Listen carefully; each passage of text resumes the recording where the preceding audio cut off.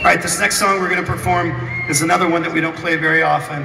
And um, the reason we're doing it tonight is it was a very special request uh, from uh, a band that we hold uh, in very high esteem, have uh, a great, great deal of respect for. This is a request uh, on the part of editors. This is called Cuyahoga.